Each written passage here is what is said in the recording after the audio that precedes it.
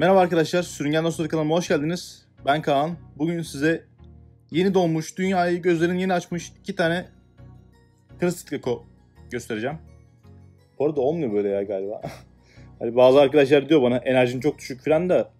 Hani ben genel olarak böyle bir insanım ya. O yüzden herhalde böyle sizde de videolarda böyle direkt yüksek coşkuyla giremiyorum. Ama sonuçta daha çok ben bilgi vermek üzerine buradayım. O yüzden bilginizi alın gidin arkadaşlar ya. Eğlenmek istiyorsanız başka kanallar var zaten bununla ilgili. Yani ben çok eğlenceli bir insan olduğumu düşünmüyorum açıkçası. Ne, neyse konu çok uzadı. Sürüngen Dostları kanalımıza hoş geldiniz. Ben Kaan. Bunu dedim mi bilmiyorum daha önce ama yine de demiş olayım. Evet bu ufaklıklar dünyaya 3 gün önce geldi. Yok 2 gün önce geldi pardon. 2 gün önce geldi. 2 gündür inkübatörde duruyorlar. İşte bu yumurtalama sistemi benim. Şöyle gösterebilirim. Benim inkübatörde kullandığım mesela şu yumurta ölmüş. Şurası boş çıkmıştır muhtemelen. Mesela bazı yumurtalar ölü burada. Şu yakın zamanda çıkacak gibi duruyor. Bakalım makro girer mi sana?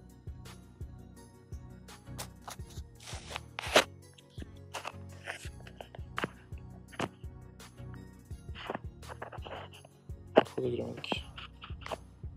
Açı yetmiyor. Makro giremedik, uzaklık yetmiyor. Ama şu yumurta yakın zamanda çıkacak gibi duruyor. Son günlerinde biraz böyle şişiyorlar çünkü. Bu arada springtail'ler var. Hani zemin malzemesinde. Siz söylemeden ben söyleyeyim. Onlar springtail. Zararlı bir şey değil. Sıkıntı olmaz.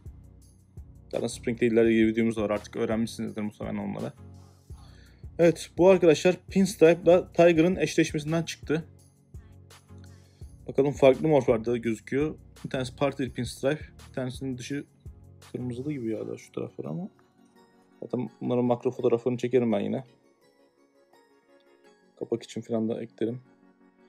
Evet şimdi size kısaca normalde ne yapmanız gerekiyor yumurtada sürecinde ondan bahsedeyim sadece yumurtlama sürecinden sonrasında. Zaten hani kanalda nasıl bunlara yer hazırlayacağınız, şu alt tabanı nasıl hazırlayacağınız kanalda videosu var. Onun dışında ek olarak işte kuluçka aradığınız canlıyı canlı atıyorum 3 ay, 4 ay, 5 ay, 1 ay, 2 ay sonra çıktı yumurtadan. Yani çıkar çıkmaz gördüğünüz gibi bu canlıları almayın elinize. Ve hani direktman teraryumuna da koymayın yani. Çünkü bu canlılar burada zarlarını atması gerekiyor. Mesela şu an bak ikisinde de zar yok görünürde. Muhtemelen ikisi de attı zarını. Çünkü ben iki gün beklettim bunları. Bu şekilde zarlarını attıktan sonra teraryuma alabilirsiniz. Çünkü zarlarını atmaları için nemli bir ortam gerekiyor. Ve hani sıcaklığı da birden sıcak yere geçmesi gerek hani sıkıntı yaratabilir dünyaya geldiğinde. Şu an mesela ben 22 derecede falan kuluçka ediyorum.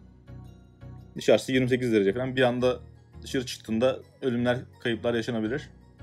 O yüzden bunları alışma süreci olarak 1 veya 2 gün maksimum 3 gün enközde tutabilirsiniz. Enközden sonrasında alıp yavaşça almanız gerekiyor. Biraz da bunlar çünkü ilk başta biraz hassas oluyorlar. Şimdi mesela almaya çalışacağım elime korkacak muhtemelen. Fırlayabilir yani şu an. Hop fırlama tamam tamam. Sakin ol. Şampiyon. Büyüksün.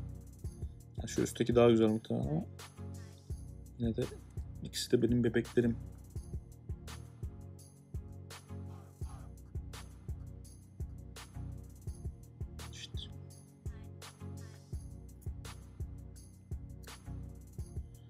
Evet. Yani bu videoda başka bir şey yok böyle. Yani daha fazla böyle video istiyorsanız yine çekerim ara ara. Geçen de mesela panda maçlar doğurmuştu. Onları çektim.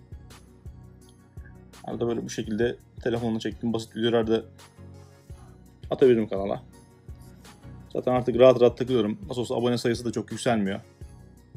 Burada kaldık zaten 7000'lerde falan kaldık şu an. O yüzden kafama göre takılıyorum ya. Kendi kanalımmış gibi. Evet. Neyse arkadaşlar. Bu bebekleri ben artık yerine koyayım.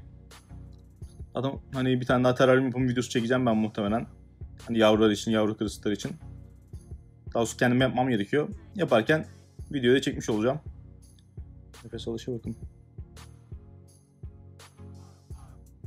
O videoda yine görüşürüz. Kendinize iyi bakın arkadaşlar. Kanala abone olmayı ve videoyu beğenmeyi unutmayın. Bay bay.